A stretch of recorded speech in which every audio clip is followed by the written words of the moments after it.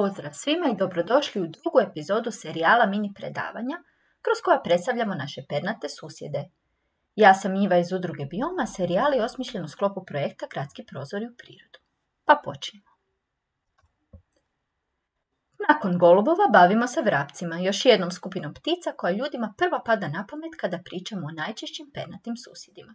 Ovo su male ptice snažnog stožastog kljuna, zahvaljujući kojem se osim kukcima uspješno hrane i sjemenkama. Imaju vrlo jednostavan repertoar glasanja, a ruho im je uglavnom smeđi, zemljanih i pješčanih boja. U Hrvatskoj nalazimo tri vrste vrabaca i sve tri možemo zateći u gradovima i naseljima, pa ćemo ih danas redom predstaviti. Ovo je vrabac kojim ste najbolje upoznati, najčešća vrsta široko rasprostranjena u mnogim dijelovima svijeta – Stanarica je, pa je s nama čitave godine, a gnjezi se ispod crijepova i u različitim nišama u kojima nađe dovoljno prostora za nanos materijala. Glasa se svima dobro poznatim jednostavnim živkanjem, ovako.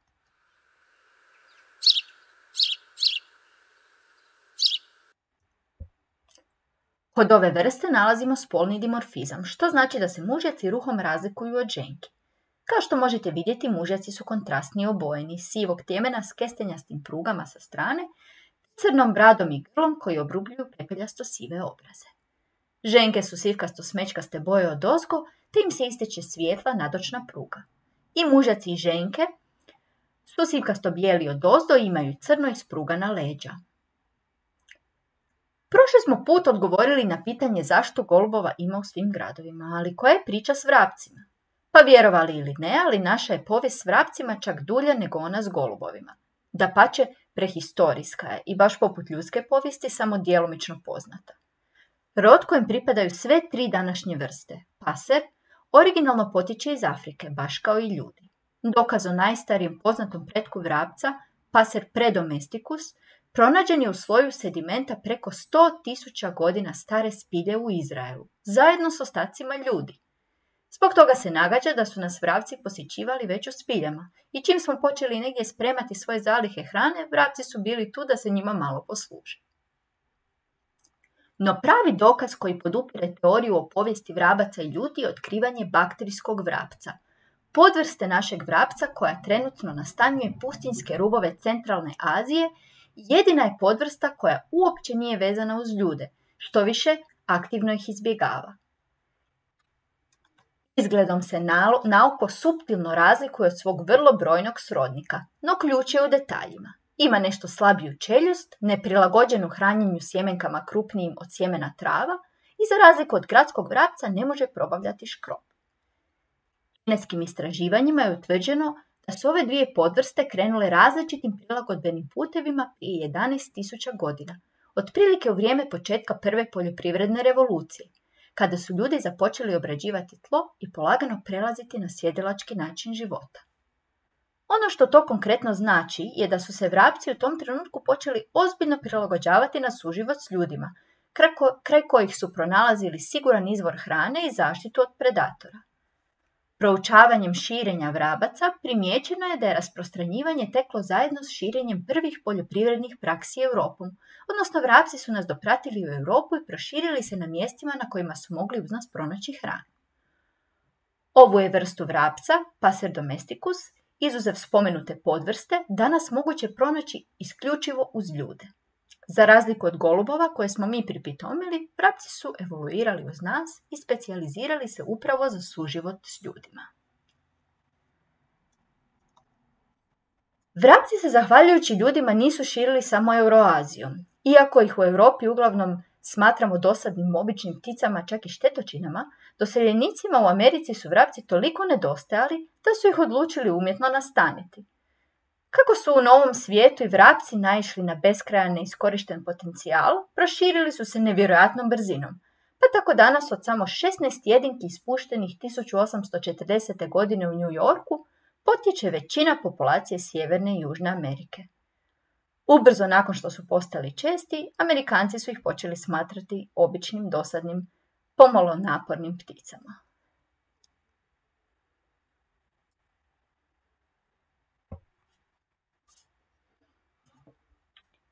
Sljedeća vrsta koju za sada nalazimo samo u primorskoj Hrvatskoj je španjolski vrabac.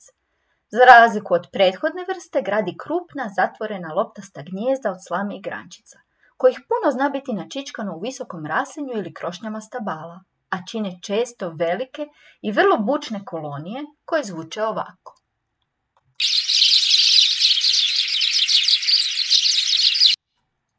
Glasanje mu je inače vrlo slično vrapcu, samo malo više i metalnijeg prizvuka, pa je za razlikovanje potrebno iskusno uho. To živkanje na španjolskom zvuči ovako.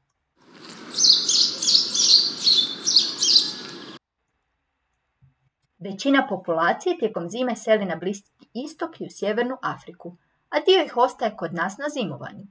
Kod ove vrste također primjećujemo spolni dimorfizam. Mužjaci imaju potpuno kestenjasto smeđu glavu, čisto bijele obraščiće i upečatljiv krupan crni uzorak na prsima, trbuhu i bokovima. Ženke pak u prirodi izgledaju identično ženkama prethodno spomenute vrste vrabac.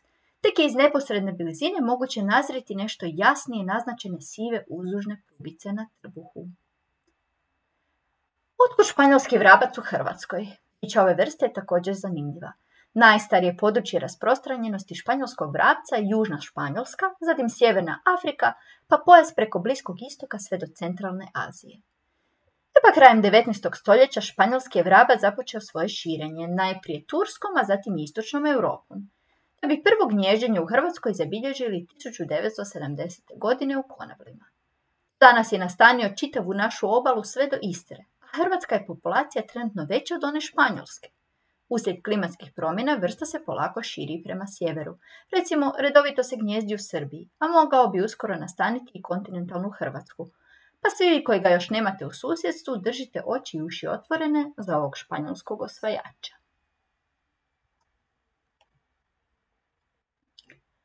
Posljednji na redu danas je poljski vrabac.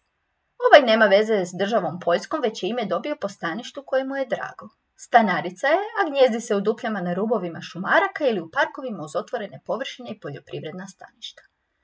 Malo je manji od dvije prethodno spomenute vrste i ostavlja dojam okruglastije ptice.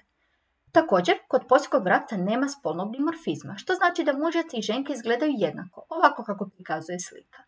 Njemu je karakteristična crveno smeđa glava i čisto bijeli obraz s kontrastnom crnom mrljom na sredini, te mali crni podbradak koji se ne širi na prsa. Glasanje mu je također slično običnom vrapcu, samo malo nazalnijeg i vedrijeg prizvuka, a zvuči ovako.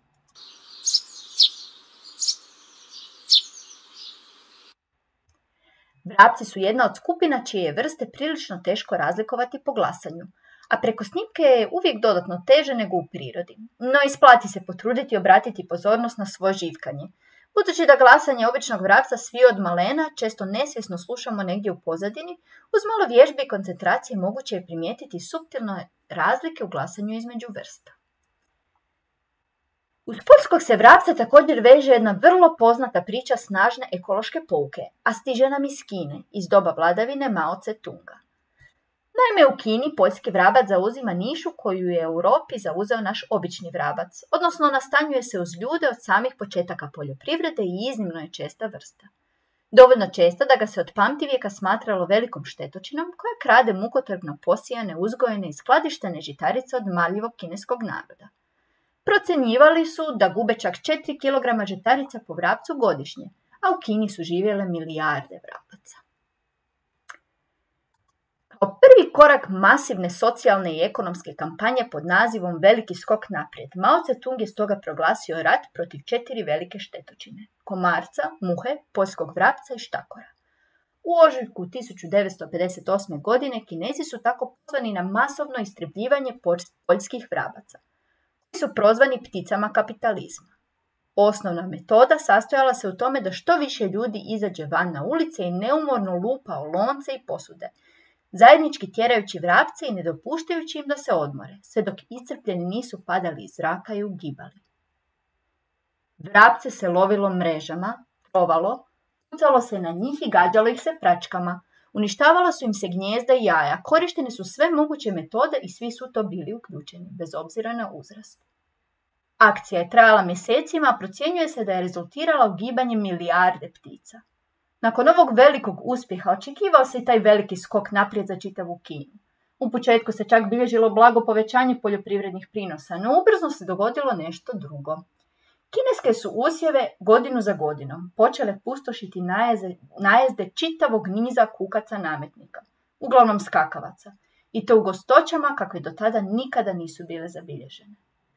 Naime, odrasli poljski vrapci se doista hrane žitaricama, ali svoje ptiće hrane uglavnom kukcima, što je čest slučaj kod mnogih vrsta koja se hrane sjemenjem. Stoga tijekom najintenzivnijeg perioda hranjenja, kada roditelji mahnito pune mnoga mala usta, vrapci uspješno kontroliraju populacije kukaca u svojoj okolici. U nedostatku ove ključne, donedavno mnogobrojne vrste, kineski usjevi su masovno propadali, te se procjenjuje da je kao posljedica gladi koja je nastupila umrlo oko 35 milijuna kineza. I tako je poljski vrabac 1960. godine u Kini proglašen zaštićenom vrstom, a na popisu velikih štetočina je zamijenjen stjenicama. Kineska je vlada na posljedku bila prisiljena reintroducirati 250 tisuća vrabaca iz tadašnjeg Sovjetskog saveza, kako bi obnovila lokalnu populaciju ovog velikog neprijatelja kineskog režima. Evo još jednom sva tri vrapca, jedan uz drugog, za usporedbu. Bilo bi dobro zapravo kada bismo svi, uključujući nas biologe, obraćali malo više pažnje ovim susjedima koji su s nama od kad smo napustili nomadski život. Naime, zbog njihove povijesno velike brojnosti, široke rasprostranjenosti, ali i zbog uske vezanosti uz ljude i staništa koja često ne doživljavamo kao prirodna ili ugrožena, vrapci su donedavno rijetko bili predmetom monitoringa, odnosno praćenja i dugotrajnih bioloških istraživanja. No recentna istraživanja ukazuju na postojan pad u brojnosti europskih, ali i svjetskih populacija sve tri vrste. Ukupne europske populacije običnog i poljskog vrapca su se smanjile za čak 60% u posljednjih 40 godina, s najdramatičnijim padom tijekom 80. godina prošlog stoljeća. Trendovi se ponešto razlikuju među pojedinim državama i situacija nije kod svih alarmantna, no zabrinjava to što razlozi ovom naglom padu nisu u potpunosti poznati. Velik utjecaj zasigurno imaju povećano korištenje pesticida u poljoprivredi i vrtovima koje je utjecalo na količinu dostupne hrane, ali i akumulaciju štetnih tvari u tijelima ptica. Također, renoviranje zgrada i njihovih potkrovlja te moderni arhitektonski trendovi smanjuju vrapcima broj povoljnih mjesta za gnješćenje. Trendovi uređenja javnih parkova u kojima se smanjuje količina grmlja koje ptice koriste kao sklonište isto ne pomažu.